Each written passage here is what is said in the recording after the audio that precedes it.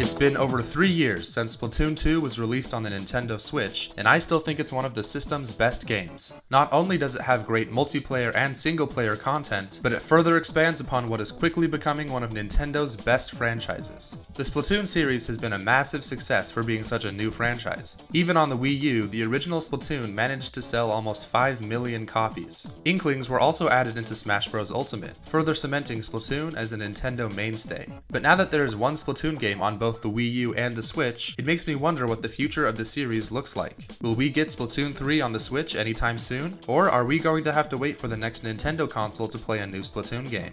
There really aren't any definite answers, but I'll give you my thoughts and opinions on the future of Splatoon.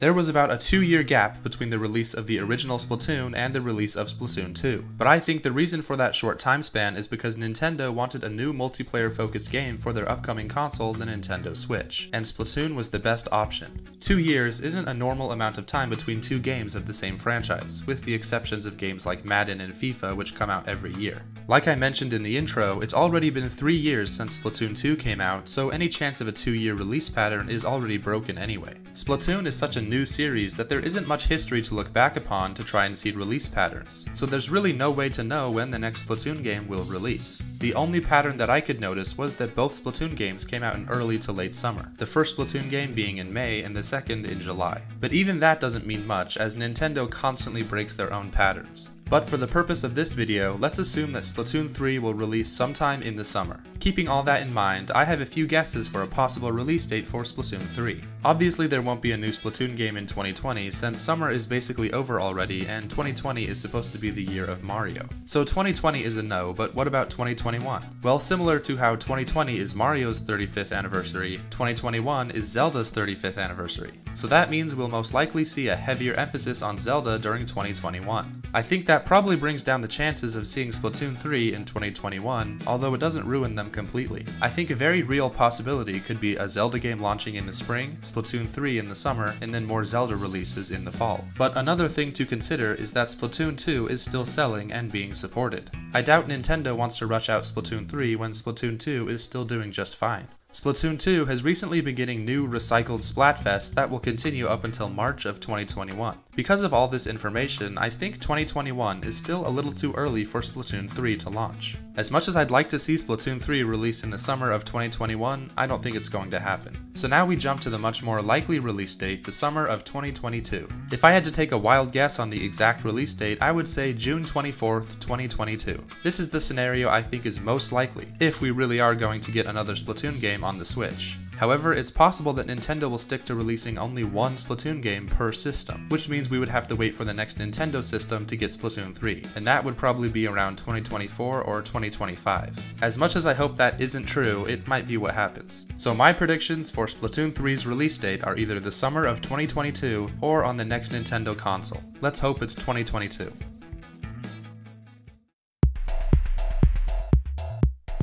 Now let's talk about the things that I would like to see in Splatoon 3. Let's start with the story, but first, a little bit of history. The final Splatfest for the original Splatoon on Wii U was Callie vs Marie, and Marie ended up winning. The reason this is important is because the results of the final Splatfest actually influenced and changed the story of Splatoon 2.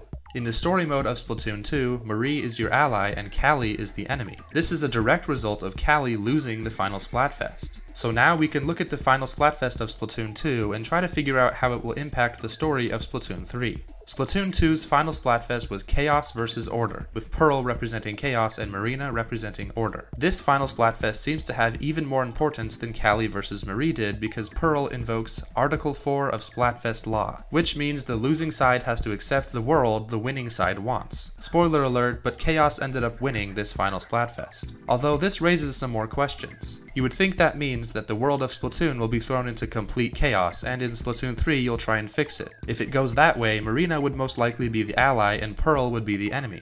But that doesn't line up with the Callie vs Marie Splatfest. If Splatoon 3 is going to follow the same pattern that Splatoon 2 did, then Marina would be the villain since she lost the Splatfest. Obviously we don't have any answers yet, but I think Splatoon 3 will follow the same pattern as Splatoon 2. That means that Pearl will help you in a story mode where you fight Marina. This makes the most sense to me. Since Pearl won the Splatfest, I think she should be the ally. Now comes the fun part. Pure speculation. Here's what I think the story of Splatoon 3 will be.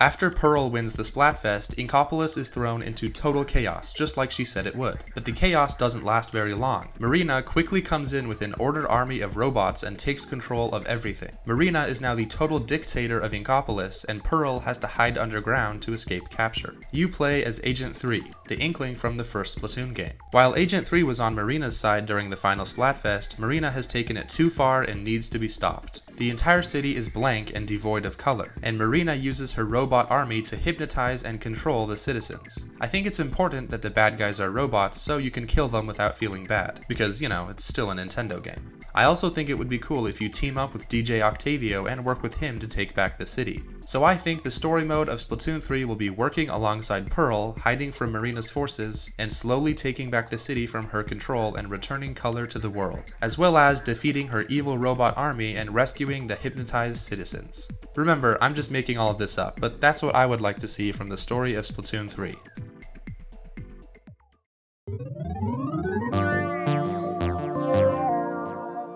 Okay, that's enough time spent discussing the story. Let's talk about how they could improve the gameplay in Splatoon 3. I think the first major new addition should be getting your own apartment in Inkopolis. Splatoon is already a series where you buy things to customize your character, so I think the next best thing would be to customize your own apartment. This would add even more options for things to buy with your money from battles. Split screen is a feature that should have been in Splatoon 2, but now we really need it in Splatoon 3. Splatoon's gameplay would work perfectly in an offline split screen format. You could choose the map, the ink colors, and the game mode. This would make Splatoon more than just a single player experience and could even turn it into a party game. And of course, there needs to be new weapons, specials, and game modes. I don't have many ideas for new weapons or specials, but I can think of some new game modes that would be cool. Capture the flag is one that I've always wanted to see in Splatoon, where you grab a flag from behind enemy lines and then bring it back to your base. I also think there should be some game modes that change up the team format. Every single battle in Splatoon 2 is two teams of four, but I think there should be some more variety. Four teams of two players or even a free-for-all mode would be great. I also think they need to change the number of rotating stages to four instead of two, because playing on the same two maps gets old really fast. And there really should be an option to select which game mode you want to play, instead of having to wait for it to come into rotation. I think there is a lot to add and improve to the gameplay of Splatoon 3 that would make it feel different from Splatoon 2. Well, I think that's everything. Those are my ideas and wishes for Splatoon 3. Who knows when a third Splatoon game would come out, but let's hope it's sometime soon. I think the Splatoon series is so great and has so much potential to expand and improve in future games. But what do you think? Do you think Splatoon 3 will release on the Nintendo Switch, or are we going to have to wait for the next Nintendo console? What did you think about my story ideas, and do you have any ideas of your own about Splatoon 3? Let me know in the comments. Thanks for watching guys, and I'll see ya in the next one.